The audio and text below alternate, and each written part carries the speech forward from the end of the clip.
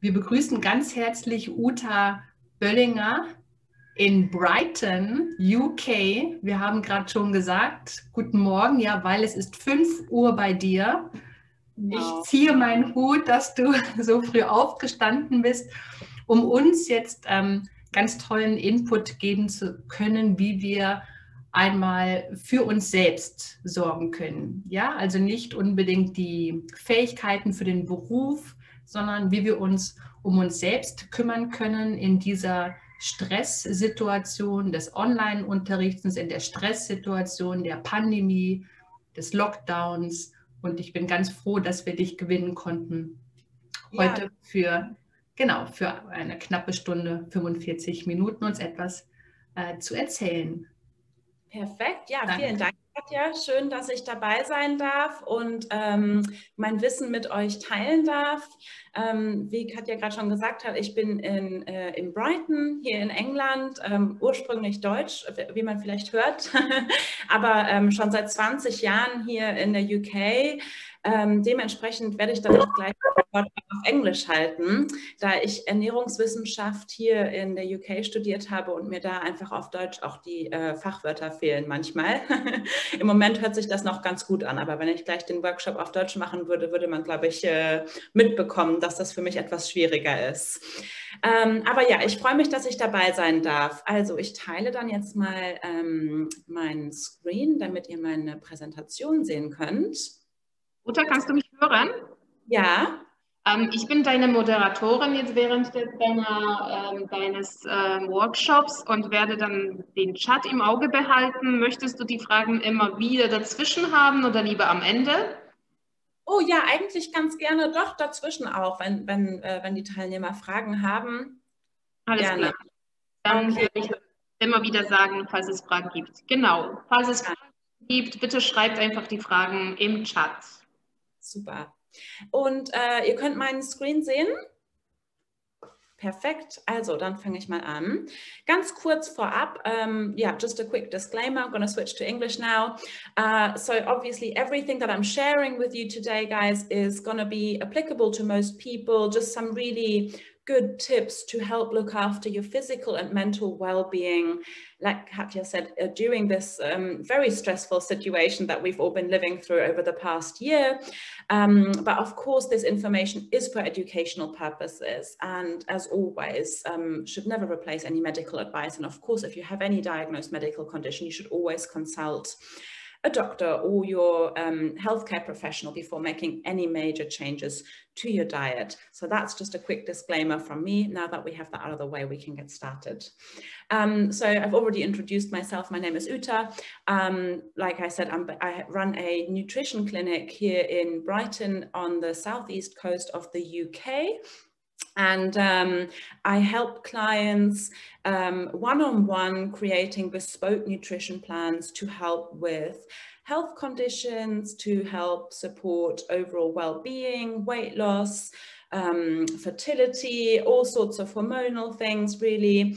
Um, and also over the past year, working through the pandemic and lockdown, um, I've noticed an increasing uh, need for support with people's mental health as well as their physical health. And they really are connected because if people are highly stressed, they're not going to be digesting and they're not going to be absorbing the foods that I tell them to eat very well. So, you know, everything in the body is connected. So, this is one of the reasons that I created this workshop, and I'm very, very happy to share this with you today because in my experience and also when I speak to my colleagues, we've noticed this increase in um, you know the, the need to support our clients not just with their physical um, but also their their mental health.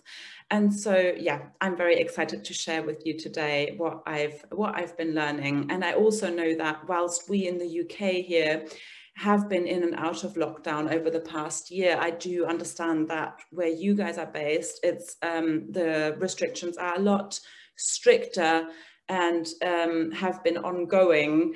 And so um, I think there's even more of a need to support you and give you those tools to, um, to support yourselves during this situation. So let's get started actually by talking about that in a little bit more detail. I, you know, I don't know how about you, but this picture is a really great reflection of some of the days that I've had in the past year where I really just felt like I'd had enough and I really didn't want to even get out of bed in the morning. Um, so that's completely normal. If you're a human like me, you've probably had days where you felt the same way. Um, but I really want you to have a little think about how do you actually feel? How do you feel um, teaching online during lockdown and balancing um, home office and homeschooling if you have small children at home you know, these are just some of the challenges that you might have experienced. Obviously, there's a lot more, but these are the, some of the things that I would like to know how you're feeling. Um, so Katja, I don't know whether you prepared the um, the word cloud that we uh, that we talked yes. about last time. Yeah, could Can we do that? It? Can you see it already? If I not, then okay. Uh, Martha, kann man das sehen? Nein, ich glaube, dass Uta muss ihren äh, okay. Bildschirm... Uta Screensharing stoppen. Jetzt haben wir es, oder? Ja. Und jetzt kann man es sehen? Ja. Genau. Ja? Ja. Okay, cool. Then please go to menti.com and use the code. And use the code.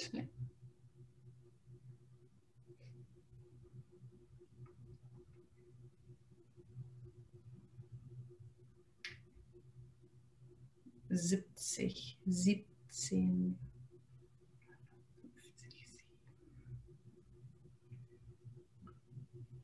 And Uta, we are looking for adjectives, right? Exactly. So if you can think of the questions that I've just asked, and they're on the screen here for you, and just think of a couple of words, adjectives that describe how you're feeling when I'm asking you those questions. German, English, or both languages? Oh, English, English. Otherwise, I think the word cloud might get a bit uh, busy.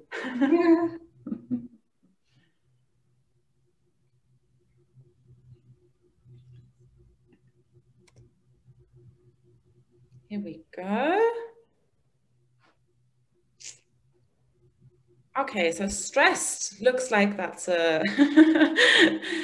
a big one. Overwhelmed. We've got um, we've got some positive words as well, which is great. So glad that you know some of you are feeling good and feel like you're able to deal with it. But we definitely can see that stressed and overwhelmed, overwhelming, time consuming, um, and we've got exhausted and we've got tired and fatigue in here as well.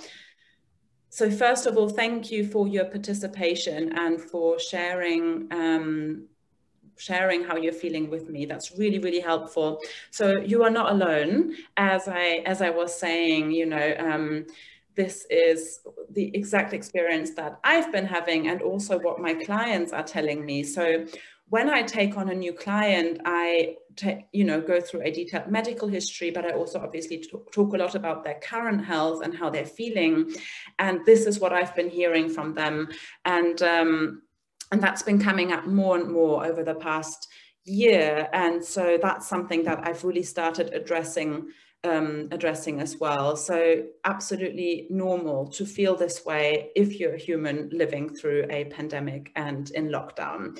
Um, it is a stressful situation. It's, you know, um, everything's changed from one day to the other. Our lives have become very unpredictable in some ways. And then on the other hand, you know, lots of the things that we previously would have liked to do that were maybe unpredictable are no longer possible. We can't see our friends and family. Um, you know, we worry about our health, we worry about our family's health, we worry about our children and how they're coping with the situation. And all of this worry and stress and anxiety then leads to um, fatigue and tiredness and exhaustion. And that has a very, very, you know, detrimental effect on our physical and mental well-being. So um, so let's talk about that in a little bit more detail. What actually is stress? What does that even mean? Stress was that one big word, right? That came up there in the uh, in the middle of that word cloud a moment ago. And what actually does that mean? I think a lot of us, when we talk about stress, we think about the emotion, but it's really important to understand that stress is a physical mechanism. Stress is effectively when your body starts to release stress hormones such as cortisol and adrenaline. Cortisol is sort of the master stress hormone. Um, that those are released from your adrenal glands, cortisol and adrenaline and some others, um, and they regulate different functions in your body. And we have two modes of our nervous system. One is the fight or flight mode, that's stress, and the other one is the rest and digest mode. And that's when we feel calm. And, um, and we can do, you know, our body can focus on resting and digesting and reproducing and all of those things. Whereas fight or flight, it's very much survival. And the stress mechanism that was, you know, um, designed by evolution to, um, to keep us safe in situations where we are under physical threat. So if you think about the history of humans on this planet, when we were stressed in the past, it would have been because we were under physical threat, because we were either running away from a wild animal or having to fight somebody else off for food resources, for example. And so it's a really important mechanism for survival and that's why it takes priority over everything else. So when your nervous system perceives threat, you go into fight or flight mode and cortisol takes priority over everything else. And what happens is that your heart rate goes up, your blood pressure goes up, your pupils dilate, you have a hyper awareness of things that could cause danger in your surroundings. And all of the um, restored energy, so uh, so glucose reserves are released and um, and transported around by this, you know, blood pressure, high blood pressure that we just talked about, so that it can be utilized by your muscles, so that you can then run away from that bear because this is what your nervous system is perceiving. So stress in itself is not actually a bad thing because really it's a mechanism that was designed for our survival. And it makes complete sense that when you are stressed because your brain perceives that you are under physical threat and it thinks that you're going to have to run away from a bear, that everything else switches off so whilst your muscles work really well when you're stressed and you've got this hyper awareness so that you can perceive if there's any other danger in your vicinity, there's a lot of other things in your body that you would also normally quite like to function well that then switch off. So your immune system doesn't function properly when you're stressed. Your digestive system doesn't function properly, so you're not going to be digesting and absorbing foods that you're consuming. Your reproductive system switches off. It's not needed when you're running away from a bear. So it makes complete sense. This is not by fault, this is by design. However, what isn't by design and what doesn't really make sense is the fact that when your, your nervous system perceives stress, it doesn't understand whether you are stressed because you're running away from a bear or whether you are stressed because you have a deadline that you have to achieve, or you are living through a pandemic and you're worried about um, what's going on in the world, or you're in lockdown and you know that you're having to homeschool and teach at the same time. So, whilst your body is doing all of those same things that it would have done originally, it doesn't really make sense when you're sitting at your desk and you've just had an email that stresses you out because you're not running anywhere. So this is where stress becomes a problem for our health because our body and our brain hasn't adapted to this new modern world that we're living in. And that's why it's so important.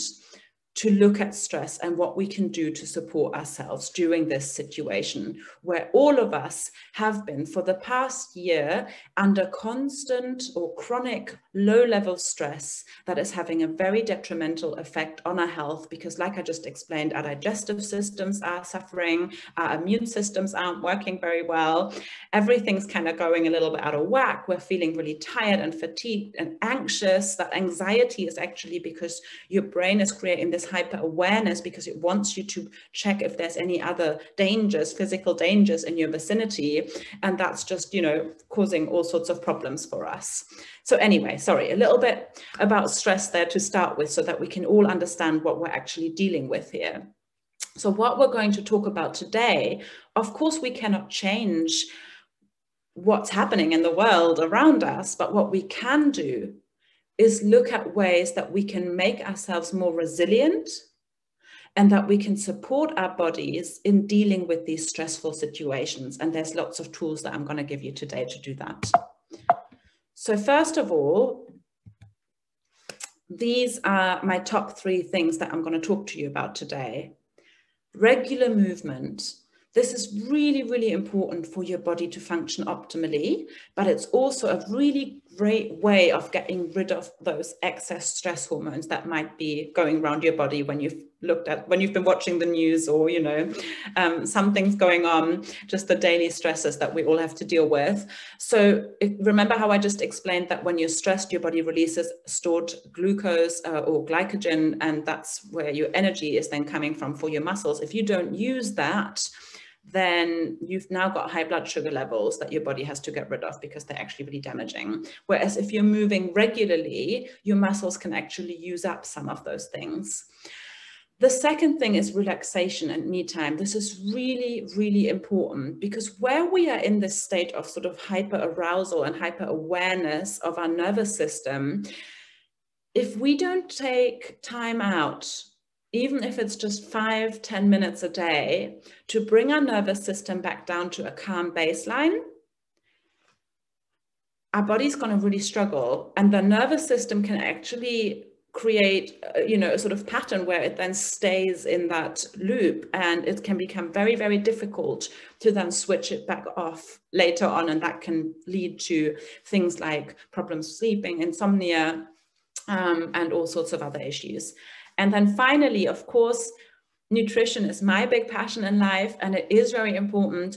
So nourishing your body and looking after yourself in terms of the foods that you're eating can actually really help deal with stressful situations as well because again it can help balance our blood sugar levels we're making sure that we're getting the building blocks that our body needs to create hormones and neurotransmitters help which help to keep our um, uh, nervous system, you know, functioning and to keep our moods balanced.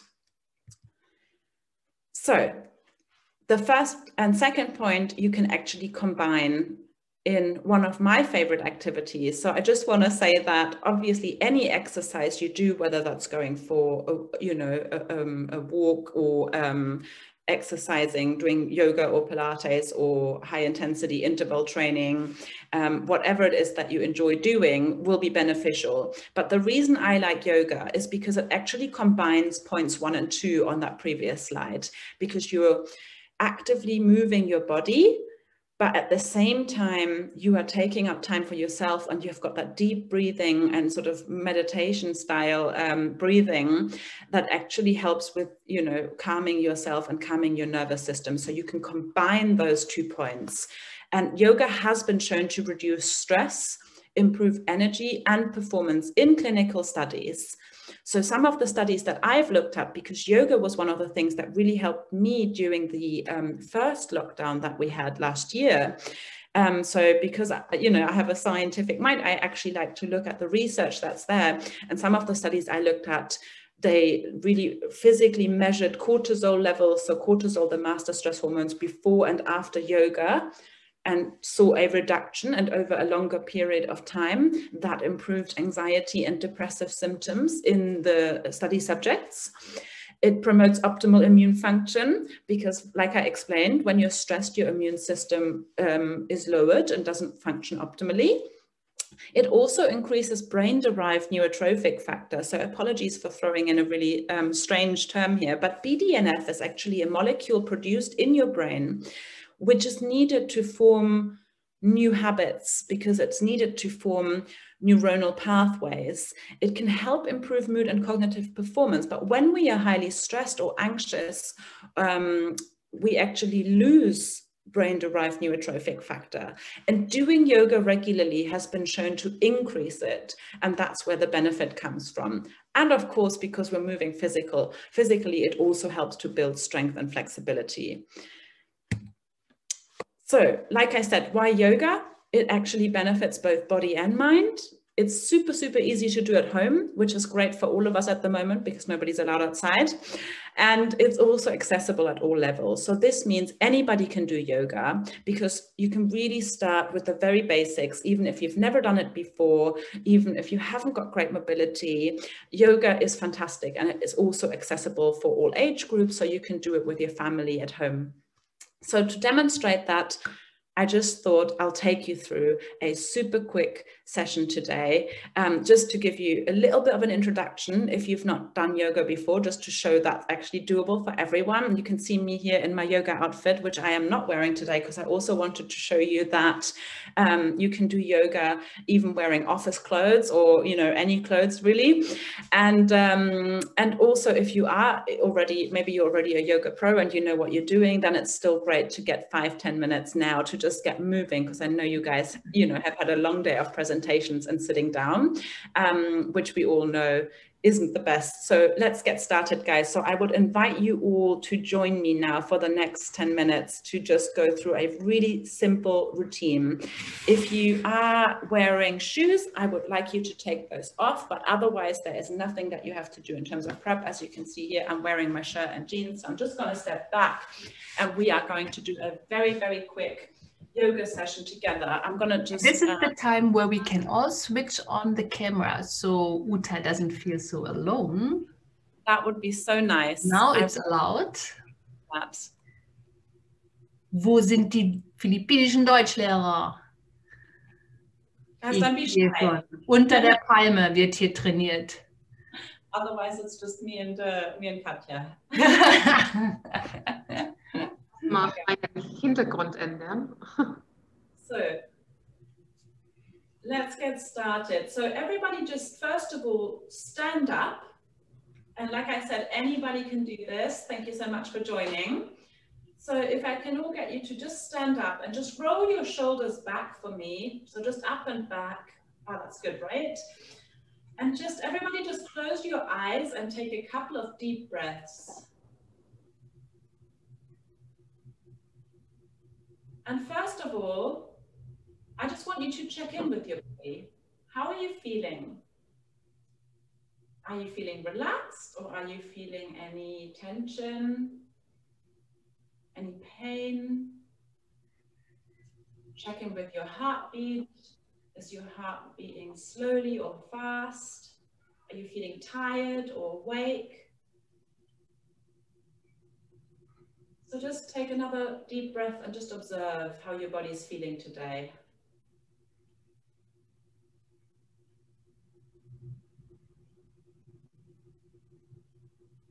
Great, so you can open your eyes and we're going to do some simple neck rolls. So just sort of moving your head around slowly.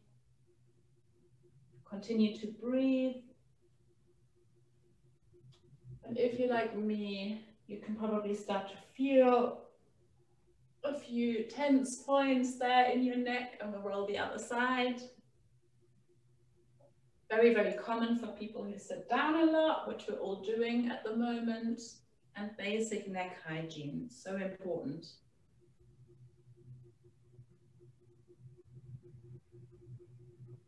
Okay, great, lovely guys.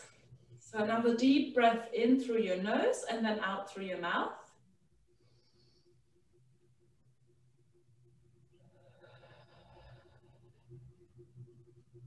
I'm going to do some shoulder circles. So same thing that we did earlier, just moving your shoulders up and then down, back and down. And I want you to match, try and match your breath to your movement. So inhale as your shoulders move forward and up. And then exhale as you're moving them back and down. do that a couple of times. Inhale and exhale. Inhale and exhale. Really well done, guys. And we'll now just do the same thing. So just try and keep matching your breath to the movement as much as possible. So we're going to move our arms up above our head. Inhale.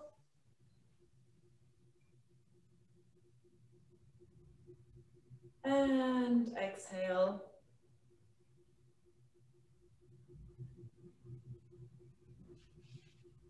Inhale.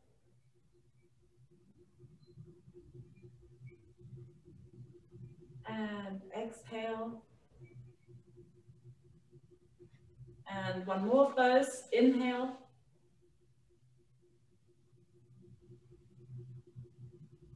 And exhale. And then now I'll move up, arms up and then just keep them there. And then just hold on to your left wrist with your right hand. And then as you exhale, just stretch to the side gently, only as far as you can go comfortably. And come back up. And the other side.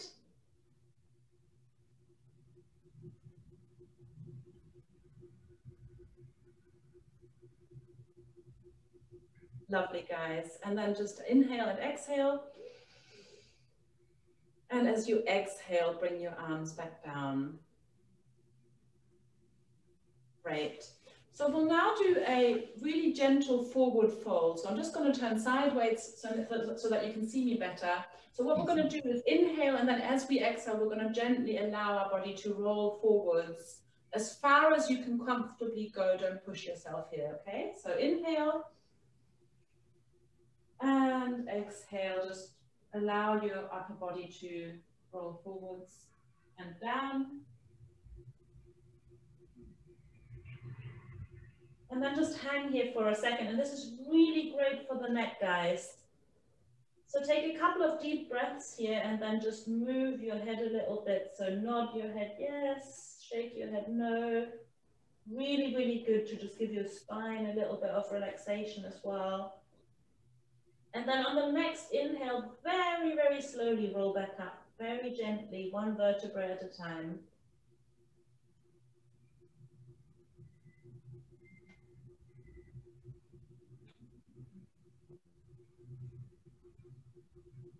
And then just roll your shoulders back again.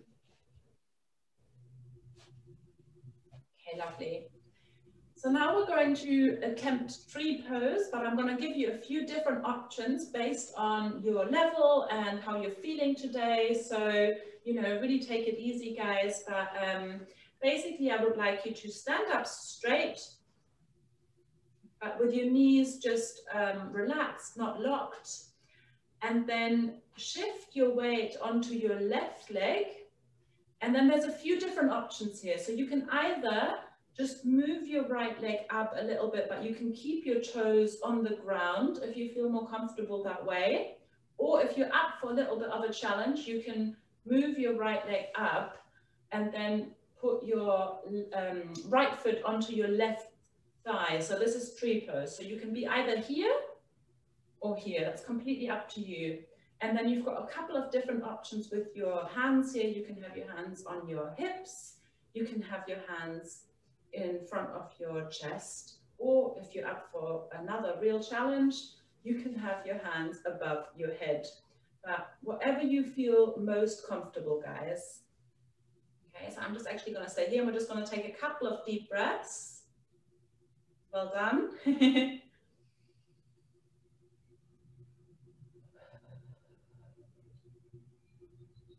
and one more. Inhale. And as you exhale, gently bring your leg back down to the ground. We'll do exactly the same on the other side. So you keep, uh, you shift your weight onto your right leg and you can either have your left leg, just bring it up, but keep your toes on the ground for balance, or you can bring your left leg up. And then again, a few different hand positions options here for you, whatever you feel most comfortable with today. And inhale. And exhale. One more, inhale. And as you exhale, just bring your left leg back down to the ground. Well done, guys. Great balancing posture here. I've really enjoyed tree pose because it just always makes me feel like I'm a little bit more in control. and then our final activity for today, physical activity for today, it's, um, it's one that might feel a little bit silly, but actually it's a great one to get your, um, your blood flowing and get you a little bit more energized and keep your um, legs hip width apart and make sure that your knees are not locked, but they need to be nice and relaxed. And we're just gonna swing from side to side. Make sure that your arms are relaxed. And this really is an activity, I haven't made this up. Um, my yoga teacher taught me this. it's a really nice activity to just get everything flowing in your body. And like I said, definitely helps when you're doing a presentation at five o'clock in the morning and you need to wake yourself up a little bit. This is a good one to do before you get started. So you can speed it up a little bit. Don't forget to breathe.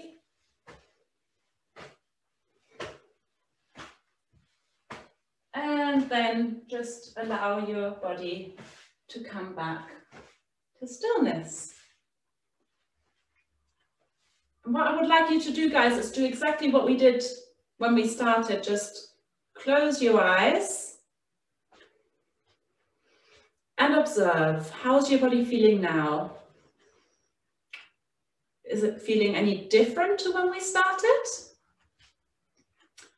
Are you feeling tired or more awake? How's your heartbeat? What's that doing now that we've had a bit of movement? Any tension or possibly a little bit less than we started with. And just take another couple of really nice deep breaths and just observe.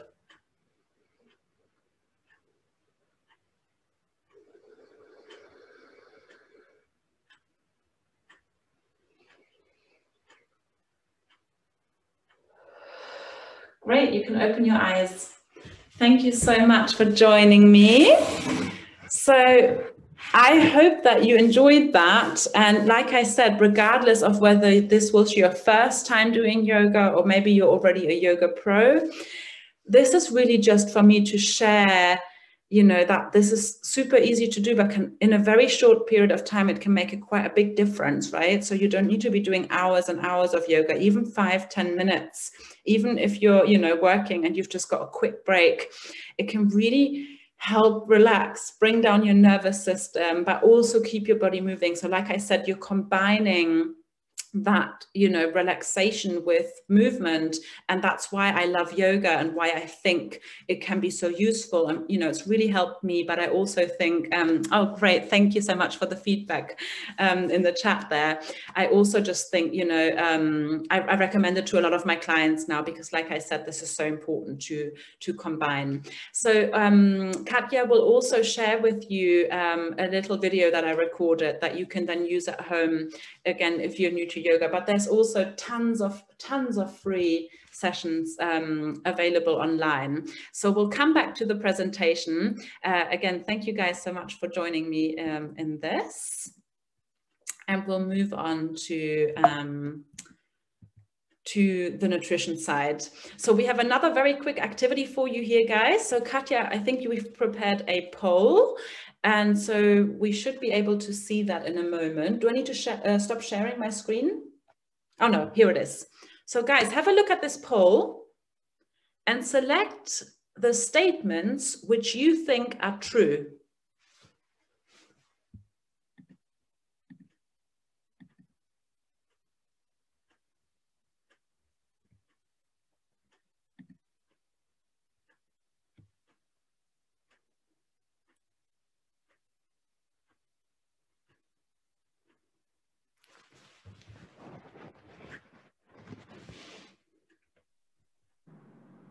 Okay, great. I see some results coming in here. That's looking really good, guys. Got a few more people to answer. We're getting there. So being a healthy weight can decrease the risk of complications in many types of diseases, including uh, COVID-19, that should say. Eating a mango before eating sweets reduces the bad impact of sugar.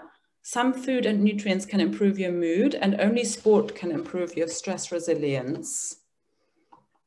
So which of these statements are true, guys? So I can see a lot of you already answered. And um, so I'm going to start looking at the results with you. So guys, being a healthy weight. Um, oh, Katja, I think it's just gone back to a different. Oh yeah, Paul. being a healthy weight can decrease risk of complications and many types of diseases. That's absolutely correct. Eating a mango before eating sweets reduces the bad impact of sugar. Sugar, no, unfortunately, it really doesn't.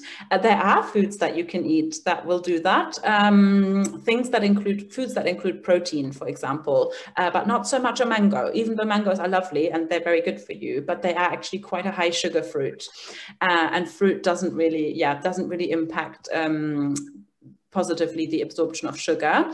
Some food and nutrients can improve your mood. So, uh, so far 52% said that that was correct. That's actually true, guys. So, um, so there are lots of different nutrients, like I explained earlier, that are important because they're building blocks for your body to produce your hormones and neurotransmitters. And your hormones and neurotransmitters is how, how our body controls our mood. So absolutely food and nutrients are very important for your mood.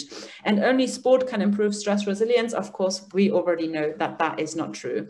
So thank you so much, guys. Um, so these were slightly different to the ones that I had here, but but these are there's, there's some of them here and then there's some more.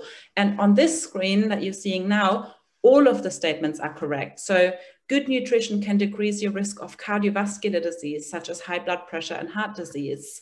That's correct. Being a healthy weight can decrease the risk of complications. That was one of the ones we had in the poll that we know is correct, right? There's been scientific, scientific studies on that in the past year. We know that obesity is a risk factor. Some foods and nutrients can improve your mood. Yes, we know that's correct. Um, eating well can improve your energy levels. That's another one. And nutrition has a significant impact on your immune system. So why all of these statements? First of all, just to get you thinking a little bit, and I wanted to see what knowledge you might have already, um, but also just to highlight why nutrition is so important. Of course, I've studied this for three years and it's my absolute passion in life. So I am a little bit biased. Um, and I understand that there are many other factors that impact your health. Um, but the, you know, nutrition is very, very important. You really are what you eat in many ways. Um, so another quick activity, guys. So you can put your answers in the chat if you know if you know the answer to these. Which foods would you find vitamin B9 in? So if you have if you if you know um, please put the answer in the chat. I can't actually see the chat right now so if somebody could read out answers to me that would be helpful. Yeah i will do it. Thank you. So vitamin b9 do we even know what this is? And what foods do we find it in? Still no answer. Peanuts fish? Peanuts? so, yeah, okay, Yeah, great. Thank you for, for sharing your thoughts. So vitamin B9 is, is actually most of the B vitamins we find in small amounts in many different foods. So we get our B vitamins if we eat a whole foods diet, but particularly B9 is actually found particularly in green leafy vegetables such as spinach, kale, and so on. And uh, what about magnesium? Again, guys, feel free to put your answers in the chat if you have any idea what foods you might find magnesium in. Banana? Yes, very good. We do find magnesium in bananas. We also find magnesium in nuts and we also find it again in green leafy vegetables. Um, so green leafy veg, good source of many different nutrients. Um, Yes, avocado as well. Whoops, sorry. Uh, yeah, thank you, whoever said that. Avocado is absolutely correct. We do find a little bit of magnesium in there as well. And what about zinc?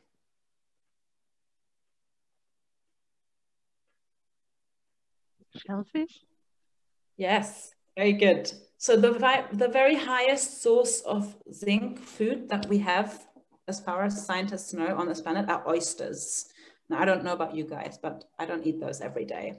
Um, but also all fish and shellfish. And the only true good um, source of zinc in, uh, in, in, the plant world is uh, pumpkin seeds. Um, so not a super easy one to get if you don't eat fish and shellfish um, a lot of the time. And then finally, vitamin A.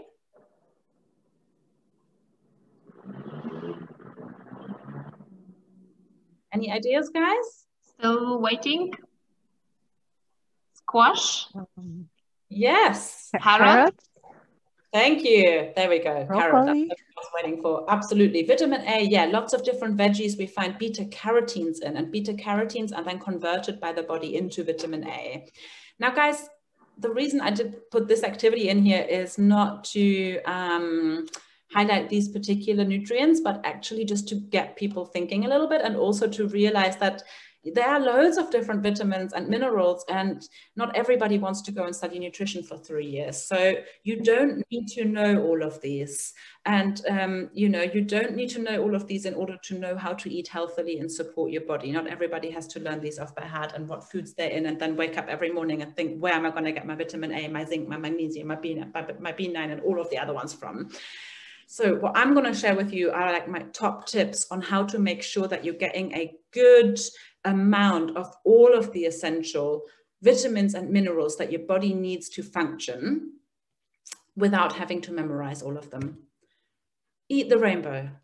Top tip, if you're eating a variety of colorful foods, and I'm not talking Skittles and Smarties, but colorful vegetables, you are likely to be getting a good amount of all of the different vitamins and minerals that your body requires because actually the colors in these foods give you know give you an idea of what type of nutrients are in them. So when we talked about vitamin a we now know right orange and yellow and red vegetables are the ones where we tend to find beta carotenes. It's the beta carotenes that sometimes give the vegetables their color and fruit also uh, green leafy vegetables I just talked about, right? So eat your greens, guys. You've got your B vitamins, you've got your magnesium, you've got iron, um, and a whole host of other other things. So vegetables are all superfoods effectively. The deeper the color, the more nutrient dense they tend to be. And if you can try and eat a rainbow, maybe not every day, but throughout a week, you're going to make sure that you'll be getting the majority of the nutrients that your body needs. So rather than counting calories, count the colors on your plate. Eating whole foods. So I like this quote here by Michael Pollan. Um, he's a food author and activist, and he said, Don't eat anything your great grandmother wouldn't recognize as food. So even your grandmothers, maybe depending on how old you are. My grandmother used to shop at the market and she used to go to the market on a Saturday and buy her vegetables and then she would go to the fishmonger and then she would go to the butcher and you know she would get the fresh eggs at the market as well so these are all foods right vegetables and plant proteins such as beans and lentils and um, uh, chickpeas and, and and also of course fish and meat and eggs if you eat those um, also you know dairy um, these are foods and your body recognizes them and they are full of nutrients and your body knows what to do with them. a packet of crisps is not very nutrient um, dense because all of the nutrients get destroyed in the processing. Um, again, packet of Skittles or Smarties, not a lot of nutrients in there other than you know your carbohydrates and your sugar but you're not going to be getting um, your your minerals and your vitamins from those processed foods. So it doesn't mean that you can't ever have those but you just need to be aware that when you're eating those they are nutrient deficient and they're not going to benefit your body in any way. What we also know now, which is super interesting, food manufacturers that produce these processed foods that, you know, many people don't even class them as foods in some ways, they understand that the vitamins are lost in the manufacturing process and they sometimes add them back in afterwards. What studies have shown now is that your body then doesn't really utilize those nutrients the same way as if they were coming from a whole food. So the vast majority of your diet should come from whole foods or what I just like to call foods. Um, so not diet Coke, effectively. Having some healthy snacks. So in the pandemic, during lockdown, what I've experienced myself and with a lot of my clients is that you know, people are snacking a lot more, grazing a lot more because we're at home more and we've just got this constant access to food. So first of all, obviously, if we can avoid doing that altogether, that's best. But at the same time, if we're struggling with that, then, you know, having healthy snack alternatives can be a really great way to still support our body during lockdown while we're working from home um, without having to, you know, be really super self-disciplined. So let's think about what's actually a healthy snack, right? So a lot of people might be thinking fruit, that, that's good. Yeah, fruit is a really good source of many vitamins, but actually many fruits also contain high amounts of sugar. So we do want to not have those too much. We don't want to have too many of those. And we also don't really want to be having them on their own. Now, one really good hack or trick that you can use is to always include a source of protein with a snack. So for example, if you are having a fruit, maybe have a small portion, a small handful, like the size of your palm of nuts and seeds, because there you're getting some protein and also some healthy fats that will help slow down digestion and absorption of the sugar, therefore not spiking your blood sugar levels, which is in your interest because that helps with weight management and energy levels and also high sugar levels, are, you know, cause inflammation in the body and all sorts. So always including a source of protein is a really good way of making any snack healthier. Opting for whole foods that we just talked about, or foods which are naturally low in sugar, having maybe some vegetables um, that you cut up into stripes and having some dips that you can dunk them in, and also opting for lower sugar fruits. So, um, you know, obviously I live here in the UK, not in the Philippines, but I'm hoping that some of the things that I've put on here are familiar to you. um, those are some of the foods that um, I believe are hopefully more available in your vicinity that are lower in, in sugar um, than some of the others that you might find. And then of course, like I said, nuts and seeds. So if you have a variety of healthy snacks available in your home and you have a craving, it's a you're much more likely to then opt for those if they're already there then if you have to then make that decision and go out and buy something healthy when actually you've got the you know the biscuits and the chocolate or whatever it is already in the cupboard. So being prepared is another thing that i would advise. And yeah just replacing some of your snacks with healthy snacks can help balance your blood sugar levels which is also good for your mood. Just to say again that doesn't mean that you can't ever have the cake, the biscuits, and the chocolate, but it's just, you know, doing everything in moderation. The same way that, you know, if you ate McDonald's every day and then once a week you have a salad, it's not going to make you super healthy. The same principle principle applies the other way around. If you're being super healthy most of the time and then once a week you have McDonald's, or you know whatever it is that's absolutely fine too. Your body can handle that. So if you know the 80% 20% rule in nutrition i think this picture kind of makes it quite clear. Have a good routine have your healthy foods your healthy snacks 80% of the time and then 20% of the time it's absolutely fine to have whatever you like. And then finally, my last bits of advice here is meal planning and prepping. When we were still going out for work, this was actually something that many of us did naturally because we had to. Now that we're all working from home, what I've seen with myself and my clients is that we're not taking the time to prepare in advance because we think we don't need to because we're at home. And then what happens is you become very busy at home because you're still working and homeschooling and doing whatever. And we're actually keeping ourselves really busy. And suddenly all that spare time that we've gotten back from the commute has actually um, uh, been used up for extra meetings or whatever. And, and then we end up, you know, waiting until we're super hungry and and by that point, we're craving foods and we're going to be more likely to choose foods that are high in carbs and processed carbs and high sugar and so on. So planning and prepping in advance when working from home is, is super beneficial in terms of helping you to make healthier food choices. So do this if you're not used to it, and by the way, Katja, as well as sending out that video, she's going to send you a pack of handouts that I've created for you that I think will be really helpful, that will help you put that into practice, what I'm teaching you here in this short session. And the meal planner that you see on the screen will be included there. But start by just planning three days in advance rather than the whole week, so it's not so overwhelming don't feel like you have to have a huge variety of foods every single day. Like when we talked about eating the rainbow, that doesn't have to be every day, but try to vary them as much as possible throughout the week. Start with foods that are easy to batch cook, even better if you have a freezer. So things like soups and stews.